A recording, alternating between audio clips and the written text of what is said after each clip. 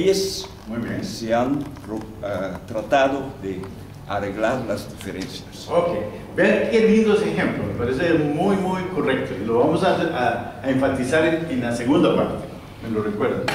Pero eh, saco de acá lo siguiente. La incidencia política en el conjunto de normas y reglas que gobiernan la sociedad de Curazao es muy fuerte. O sea, porque son reglas y normas a la conveniencia de los comunes, del conjunto de la sociedad.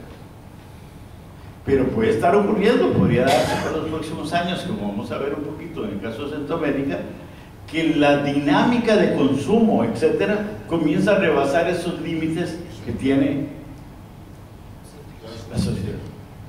Pero la, la base económica de donde se toma el dinero para poder subsidiar o para poder hacer eso puede originar problemas. O bien puede haber una educación de tal manera, como decía también el señor diputado, que hace que yo siempre esté acostumbrado, siendo de un sector en riesgo de empobrecerme, de recibir siempre el subsidio. ¿Qué pasa cuando la base económica no? Hay riesgos ahí. Eso es lo que quiero visibilizar. Entonces, por ahí es el esquema para que juntos podamos construir, una interpretación.